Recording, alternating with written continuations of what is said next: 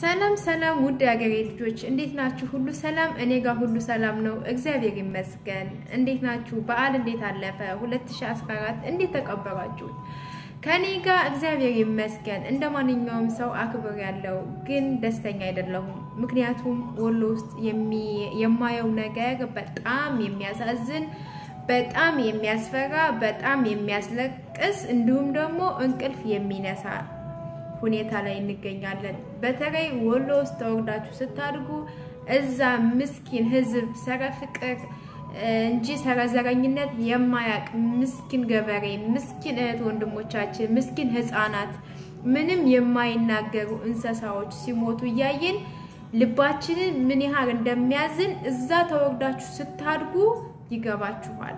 ዛሬ አንድ ነገር ነው የምለምናችሁ ሚዲያ ላይ የምትከታተሉ እንዲሁም ደግሞ ዩቲዩበሮች እንዲሁም ደግሞ ይህንን ቪዲዮ የምታዩ እናንተ በአቅማችሁ ገንዘብ አዋጡ እያልኩኝ አይደለም።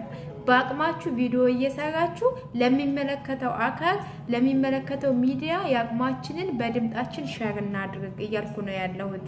ምክንያቱም በነገራችን ላይ እኔ በኢትዮጵያዊነቴ ነው የማምነው። ኢትዮጵያዊ እንደመሆኔ አንጻር ማንኛውም ሰው ማንኛውም የማንኛውም ብሔር ብሔረሰብ እናቶች እህቶች ሲያለቅሱ ማየት አልወድም። በጣም ያመኛል። በጣም ምክንያቱም እንደ ሰው ስናስብ ዘረኝነትን ትተን በኢትዮጵያዊነታችን ብቻ እናምናለን ወይም ደግሞ እናስባለን። በእርግጥ ወሎ ውስጥ በኢትዮጵያነታቸው ብቻ ነው የሚያምኑት። ይህንን ስላችሁ ዘረኛ ሁኝ አይደለም ወይም ደግሞ ዘረኛ ሁኑ እያልኩ አይደለም። ግን እንደ ሰው እንደ ሰው እኔም እንደ አንዲት ኢትዮጵያዊ እንደ አንዲት ቤተሰቦቿን እንደምትወድ ሰው ሳስበው ያመኛል። ምክንያቱም ሁላችሁም እዛው ላይ እዛ ቦታ ላይ ስትሆኑ ነው ህመሙና ስሜቱ የሚገባችሁ። በእርግጥ እዚህ ጋር እኔ ስለተናገርኩ አንቺ ስለተናገርሽ ወይም ደግሞ አንተ ስለተናገርክ መንግስት ይሰማና ማለት አይደለም። አንድ ሰው ስለተናገረ ብቻ ማለት ነው። ስለዚህ ሁላችሁም YouTuber የምትጠቀሙ ምንም ማንም ሰው አያያችሁ፣ ብቻ ድምፅ ሁኑ። ድምፅ ሁናችሁ የአቅማችሁን share አድርጉ። በተለይ ሚዲያ የምትጠቀሙ አሁን ላይ በጣም በጣም በጣም የሚያስቸግር እንትን ላይ ያለ የሀገራችን ህዝብ ህጻናት ህጻናት ታመው የሚታከሙበት የለም።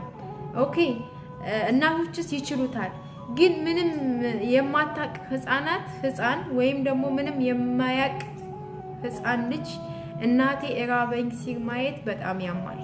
በተለይ እህቶች ያላችሁ፣ ወንድሞች ያላችሁ፣ ቤተሰብ ያላችሁ ልጆች እና እኔ የምላችሁ ነገር ሰራ ሀገሬ ወሎ ሳስብ በጣም ነው የሚያመኝ።